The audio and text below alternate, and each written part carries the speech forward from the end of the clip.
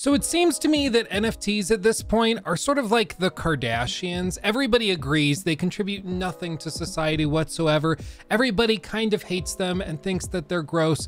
And yet, they're still everywhere. And in fact, they are still being added to games and franchises that some of us have grown to know and love. Most notably, Assassin's Creed. Now listen, I actually predicted this months ago. I looked at a website that Ubisoft owns, which is called Ubisoft Quartz. And if you go here, you can see that on the website, which promotes their NFT program they were working on last year, there's a big empty space here that looks to be a place to put a game like Assassin's Creed Mirage, which is what I'm guessing was supposed to be here. And then there's a whole debacle with an adults only rating. The game was delayed, all this stuff. I'll link my video on that whole conspiracy theory in the description box. The point is, Ubisoft has gotten pretty deep into the NFT thing because they're constantly looking for new ways to make easy cash money. And this is just another example of them hopping on the latest trend, at least as far as they see it, to try and make some quick cash. However, this does not seem to be the same sort of plan that was described with this Digits program, which was sort of like NFTs mixed with skins that you could, in theory, bring to multiple games if you wanted, but it was never really clear what it was. These are actual 3D printed collectible statues that are then polished, so they're kind of like figurines within this resin epoxy looking thing. And then they have these QR codes and a stamp of authenticity on the corner. And effectively, they're just collectibles that can be paired with software. And I know what you're thinking, Luke, isn't that just what amiibo are? and I mean, yeah, kinda. Like they're physical collectibles, but they can be used in video games to like have characters enter a game as well. So I, I, guess I've never been an amiibo guy. I don't own any. I don't really have any interest in owning any, if I'm being frank. But you know what? Some people like them. They get a cool little collectible statue, and then they get to use that in a game to get certain perks or abilities and things. It's just kind of fun. The difference with these 3D printed collectibles that Ubisoft is putting out here is that they are directly tied into NFTs that are unique to each and every collectible. If you go to the website of this company, Integral Reality Labs, which seems to be brand new, they have a bunch of stuff like Marketplace, Soul Customizer, all coming soon. The website is like still in the early stages of being built. They just announced this like an hour ago, so it's very fresh. But if you scroll down on this website, you can actually see a little explanation of what these things are. So let's see, let's try and keep an open mind, okay? Let's not do the like clickbaity thing where it's like, oh, NFTs are a scam, re. We're not gonna do that. We're gonna try to be level-headed about it as much as we can be because while NFTs are extremely common in scams and so is like crypto and all these other things, they are not inherently, by definition, as a technology, a scam. It's not like, you know, a series of code that's meant to drain your bank account. It could be used for something cool.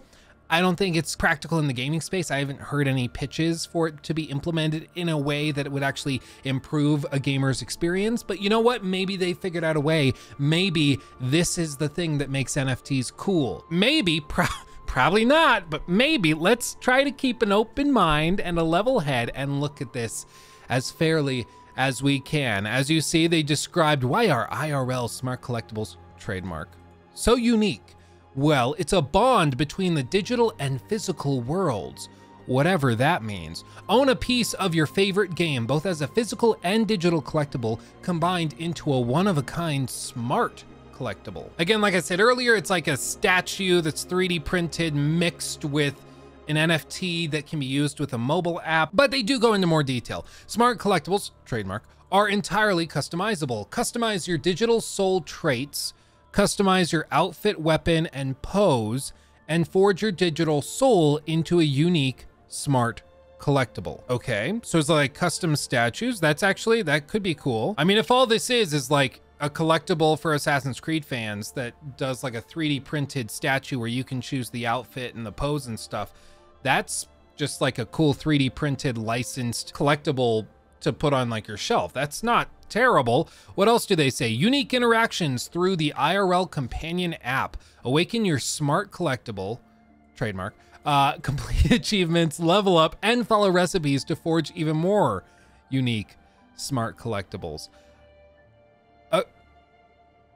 Okay. A bond between the digital and physical world. Smart Collectible offers a unique bond of digital and physical collectibles, seamlessly merging the two worlds through IRL's proprietary 3D printing technology. We embed the digital soul into a physical smart collectible minted on the blockchain, ensuring its authenticity. But they actually go on to describe the process of getting one of these things. They say each soul can be customized with traits exclusive to each rarity tier with a rarity score system.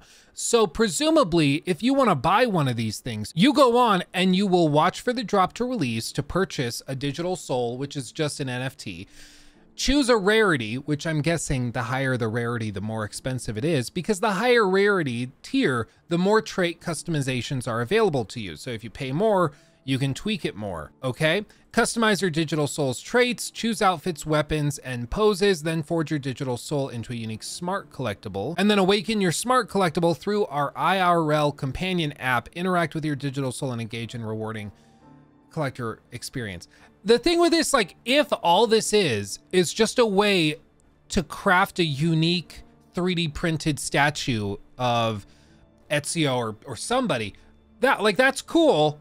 I don't understand why NFTs have to even be a part of it. The whole idea with this is it's tied into this, like, system where you create your own, and then when you pull it up on your your phone through the app, you can see the collectible and I guess show that it's real. I mean, do they really think that there's that many people that are going to be making fake versions of this? Like, honestly, with a lot of this stuff, it just doesn't make sense because the whole point of the NFT seems to be to prove that it is genuine and not a ripoff or not a scam. It's not like a fake reproduction from some random factory in China. It's real. But like, how many people are going to be creating fake like epoxy resin coated looking 3D printed statuettes? Probably not that many, especially if it's a proprietary 3D printing process as they claim. Like as a collector, I can understand why you'd want to have the identifiers to prove that no two collectibles are the same, but frankly, I don't know why that has to be tied into the blockchain. You know, this this got sent to me. It's like a, a Orlog kit for the one and only Assassins Creed Valhalla. And uh, it's really, really cool, very well made. And you can see on this, for one, it's like a very custom box. It was very nice of them to send me. But on the back, it has a label. Number 25 out of 500. Now, as far as I'm concerned, as a collector of things, I think that this does the job of like demonstrating, okay, it was 25 out of 500. That's cool. This thing is so elaborate. I don't think you're going to see many fakes generated.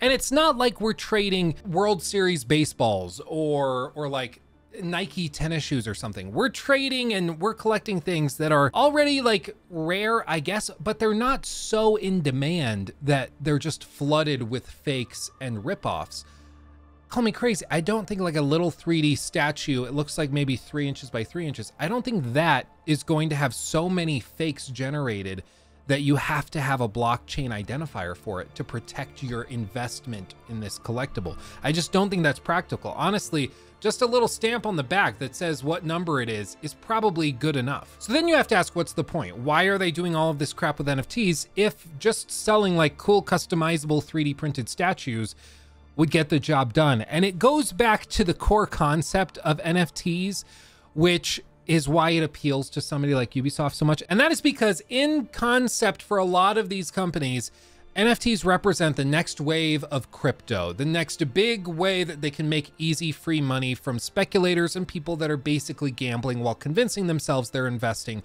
because they don't know what they're doing.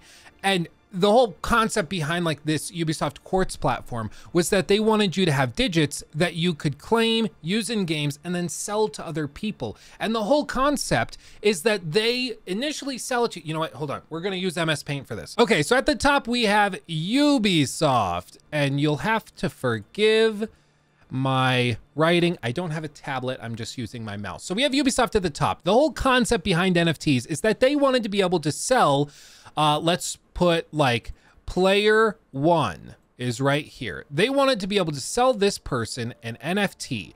This NFT was going to be worth, say, uh, $10. Okay, probably they're hoping more than that, but let's just say it's worth $10. That's how much Ubisoft gets for it. Then they want you to be able to sell that NFT to player number two. And because this whole thing is built on speculation and just assuming prices will rise, even though the only way prices rise in a situation like that is if there's a bigger sucker that comes along willing to pay more. But setting that aside for now, if player one was able to sell this to player two for say a hundred dollars for some reason, maybe it was a skin used by a famous streamer or something, it's magic, I don't know. What Ubisoft wanted to be able to do is to take a say 10% cut of this $100 sale. So in effect, this guy, player one, is only going to take home $90 going to him, and Ubisoft is going to take home a further 10 because they got 10% of that sale, right? And then the same thing will happen as player two sells this down to another person. So player two sells it to player three, gets 90 bucks, $10 goes back. But one of the promises of some of these NFT platforms is that they wanted to make sure the original holders would always get their cut as well. So when player one sold it to player two, they got 90 bucks. But when player two sells it to player three, they actually also get a 10% cut. So this goes away and this becomes instead $80 and $10 goes back to this person. Now this sounds great, right? Because it's just free money. If you buy an NFT, it goes off and gets sold 15 times. You're making money each step of the way. Ubisoft's making money each step of the way because they own the marketplace that's selling it. It's just free money for everybody, right? Well, let's draw out a few more examples and I'll show you why this doesn't work. The problem is that pretty quickly, this starts to just turn into a, um, you know, a, a wee bit of a pyramid because the people at the top of the pyramid are making all the money. The person at the very top's making tons of it. And the people at the bottom make nothing, except every single person above them is making a profit on them being willing to lose their money. So this whole system only works so long as there's a sucker willing to come along and throw money into the system that gets chopped up and eaten by the people on top. Now, anybody with two brain cells to rub together can recognize that this is what's known as a pyramid scheme. Or another thing you might have heard of is a Ponzi scheme. This is what a lot of like really famous uh, white collar criminals have been convicted of practicing. It goes back to a guy named Charles Ponzi. And basically the idea, oh yeah, and Bernie Madoff, who stole like billions upon billions of dollars doing this for decades. But basically what happens is you have one person at the very top that's paying other investors a little bit beneath him with all of the money and contributions from the people on the very bottom who hope to one day be in that next tier above it. And it only works so long as there's new people at the bottom of that pyramid willing to throw money into the system to flow up to the people at the top.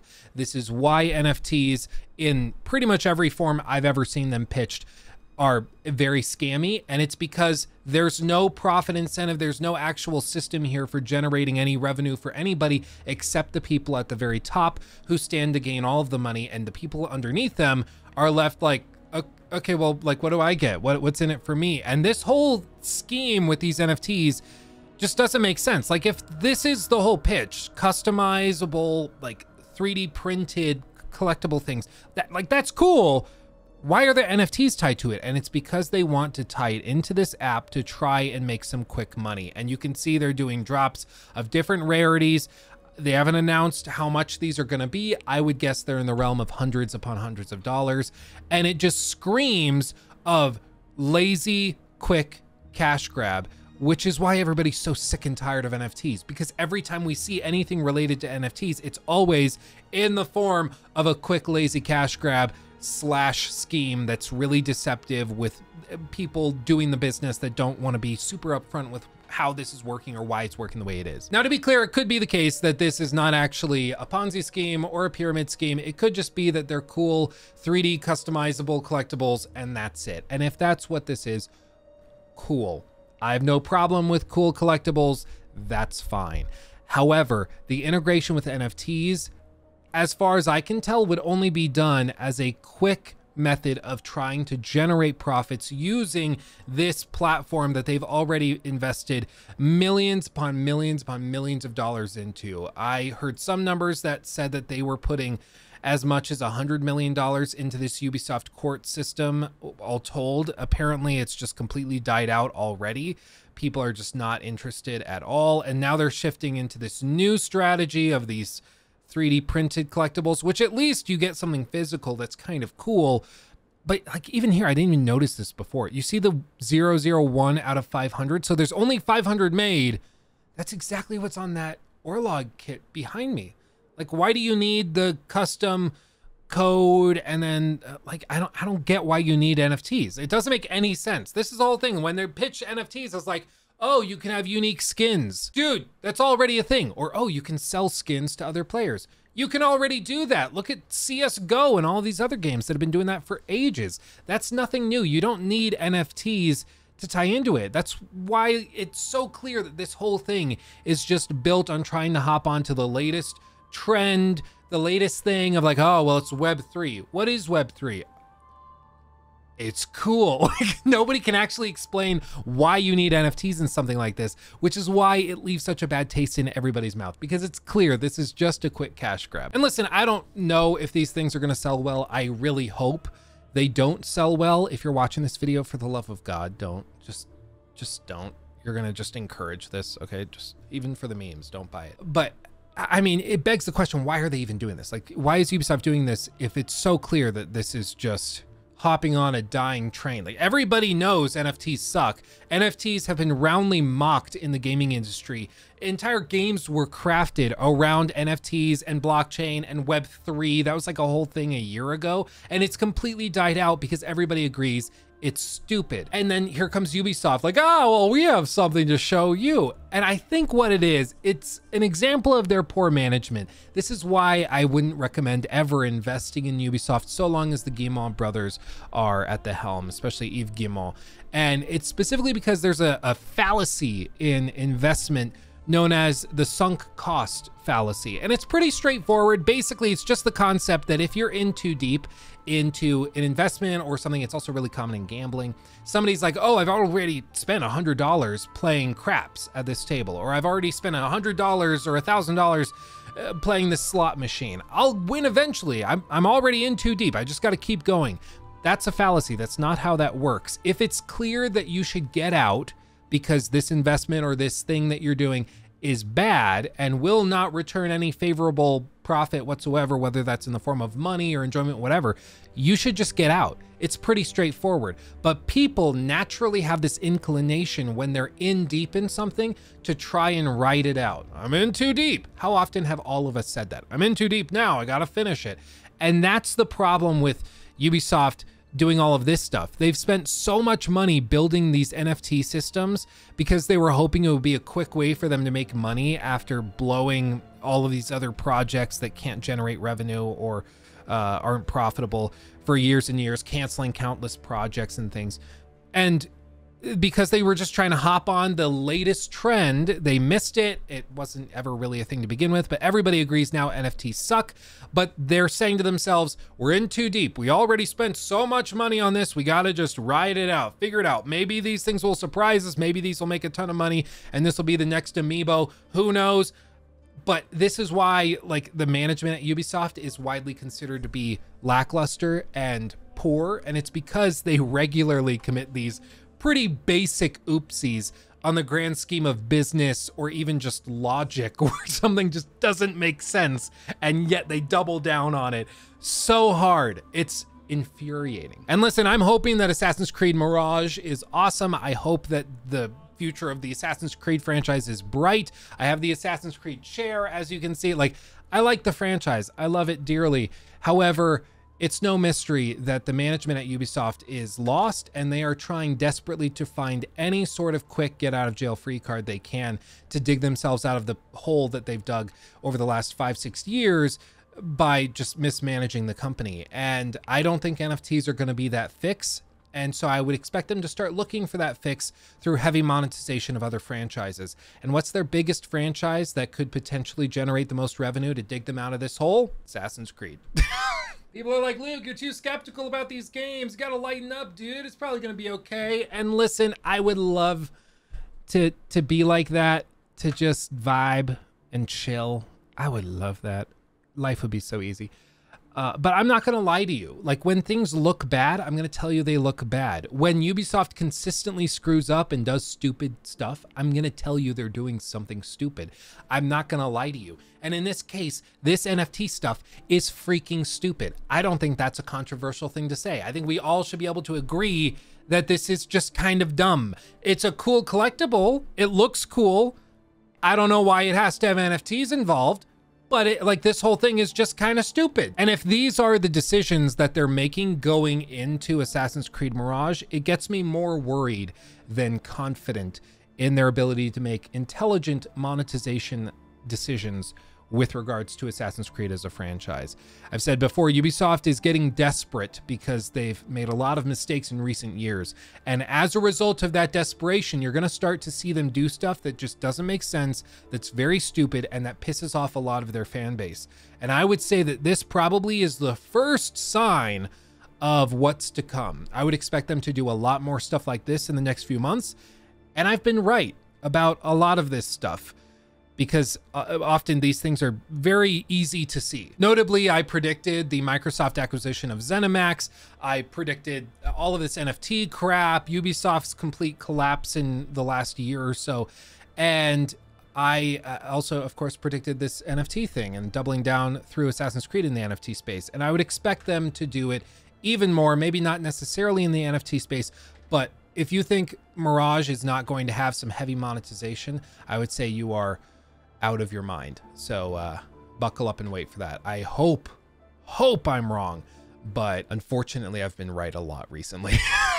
but that's all for me. I'm gonna go and uh, finish my margarita. I mean, my water that's in here, um, and relax and chill outside because it's a beautiful rainy day. So I'm gonna go do that. Play some more Tears of the Kingdom, maybe some more Jedi Survivor and vibe. Let me know what you're playing in the comment section below. I'm interested in hearing that. And if you want to come hang out with me live, head over to Luke Stephens Live. Just search up in the search bar Luke Stephens Live here on YouTube. I stream all the time, and we have a second channel filled with live stream clips and things that just don't fit on the main channel. So come by and say hi. I would love to hang out with you. Oh, and by the way, if you like merch stuff and you would like to support me, I do have more items for sale on uh, the LukeStephensTV.com merch store. So uh, go check it out. This is the Proud Skeptic mug that's available there in addition to t-shirts of the same designs and some others. Go check it out. I also figured out that I can do like basically cameo thank you videos if you place a merch order. So if you place an order on lukestephenstv.com, I will send you a little thank you video filmed on my uh, I almost dropped it on my uh, my phone. So I'll do a little selfie video for you super fun. I didn't know I could do that until like last week. So I sent a bunch of thank you videos to people who ordered stuff like back in January. But you know what? Better late than never. But anyway, all of this to say, Ubisoft is blowing it. Assassin's Creed is dying slowly, and I hope you have a great day. Much love. I'll see you in the next one. Hugs and kisses.